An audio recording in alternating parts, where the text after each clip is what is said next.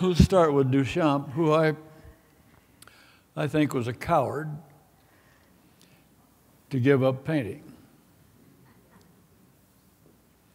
Uh, he was a fair to middling painter. Brother, I think, surpassed him in painting, mm-hmm. Jacques Villon. Brother was a good sculptor.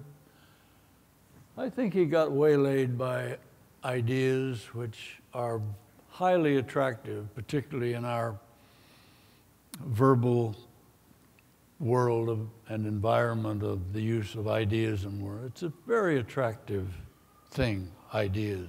Nothing wrong, and Duchamp's contribution in that sense is certainly uh, useful.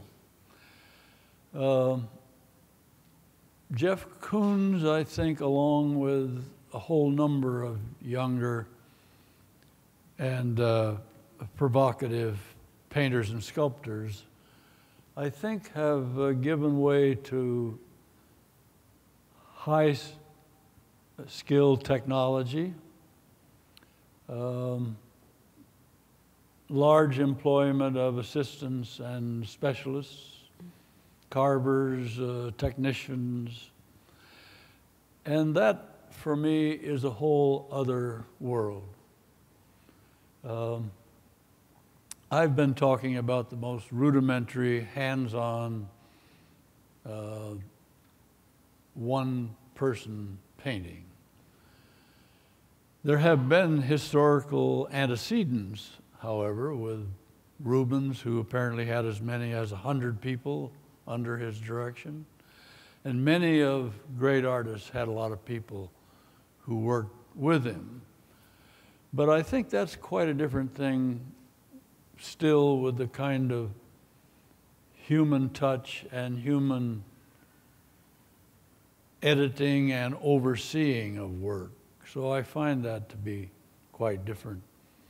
So I don't know much about these technologically uh, directed art movements and am inclined to be less interested in those. Too much to do with the spectacular, too little to do with intimacy. Thank you. What advice would you give a mid career artist? Keep going, keep hoping, being prepared for the worst, but hoping for the best. But the joy of working being a painter really has to be enough. I mean, if you love being a painter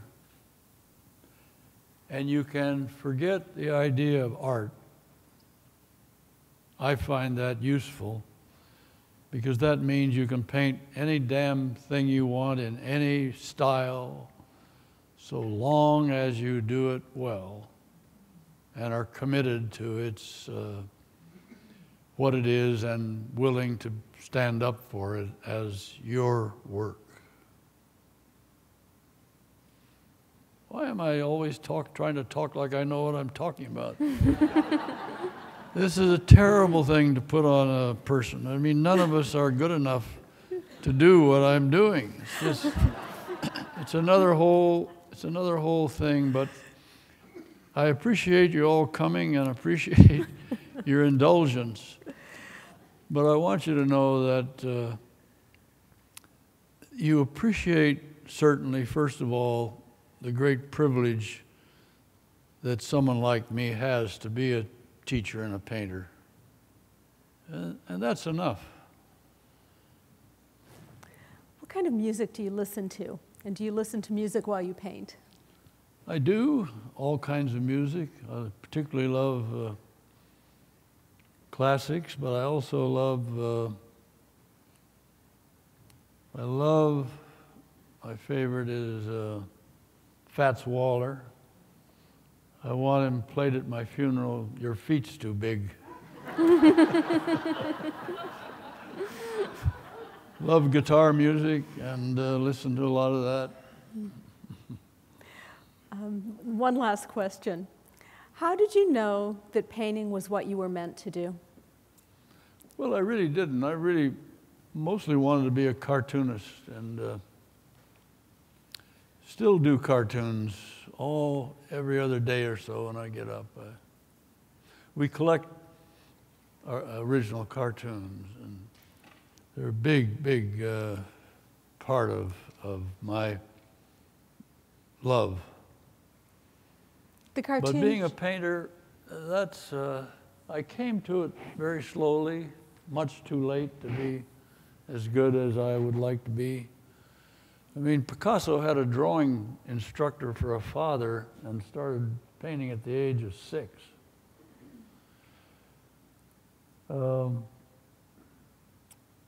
so with me, it came slowly. I, I just became more and more aware and interested in how wonderful and what great paintings there were that a human being like us uh, could do. I mean, you go and look at a Titian painting or a Degas painting, or I don't know, any of those good people, wonderful Mary Cassatt or Rosa Bonheur. I mean, these painters I mean, the Rosa Bonheur painting, I remember the first painting I did, I didn't even know it was a painting, but it was a reproduction over my grandfather's desk of the horse fair.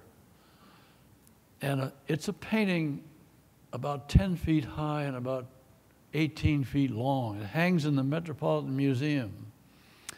It's got about, you know, 20 horses in all positions. It's got 30 people on the banks watching it. It's got 10 or 15 trainers. I mean, it's a monumental masterwork. It's just staggering. Where am I going with this? Let's see. Uh, how did I know I was going to be a painter? I think from seeing works on a much lower level seeing an old desert painter paint a cactus and some blue mountains. Gee, I'd like to do that, you know. And I think that's what it came to be. I mean, I've said enough already. Never.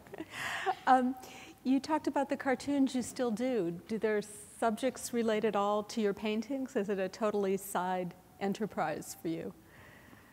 Sometimes Dick Diebenkorn sent me a, a little cartoon of a talking about art. There's this guy with a little painter's cap on. He's got a big canvas on an easel. He's turned around and he's made this big black strike right through the center of the canvas. He's turning around and saying, The trick in painting is to suck that, to make that sucker the center of interest right in the beginning.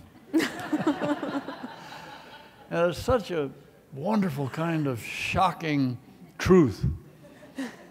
And that's what that's the wonder of cartoons, aren't they? I mean, they they tickle you. They disrupt your thinking. They stagger your intellectual dominance. They undercut you. These are human strategies of extreme effect. But painters generally love cartoons. Most of them start as cartoons, or many, particularly American cartoons.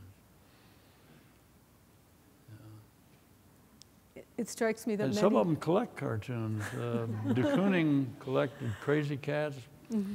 Picasso loved Krazy Kats.